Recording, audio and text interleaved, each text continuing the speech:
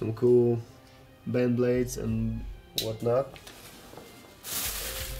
Yeah, a lot of band blades waiting to be 20? 20 bend blades.